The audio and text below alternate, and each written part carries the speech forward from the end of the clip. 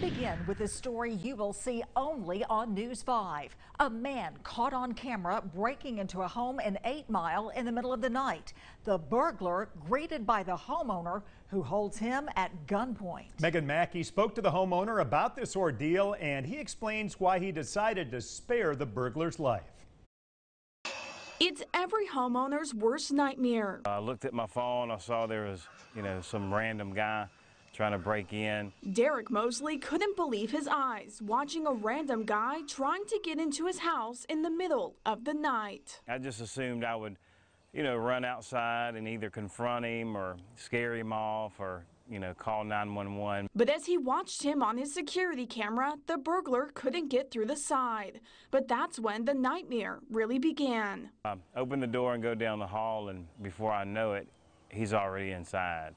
After he failed to get in the side door, he came around here to the back of the house, jumped on top of this AC unit, and got through the back window. I yelled to him, hey, I've got a gun. Once he saw that, you know, I was armed, he was ready to go. But Mosley didn't let him run free. He didn't have his cell phone nearby to try and call police. So he held his pistol on him, realizing his life wasn't in danger, and decided to let him get away. If he had entered anybody else's home in my neighborhood, he wouldn't be here today. But he entered mine, and um, I know that you know God has given me grace multiple times. So um, I just felt like uh, if there was a way that he and I both could live for another day, I wake up with no blood on my hands and he has an opportunity to get his life right. Once deputies arrived, they retrieved a cell phone the suspect left behind. It was ringing, and so the sheriff picked it up, and uh, there was a female on the other end, and she said, uh,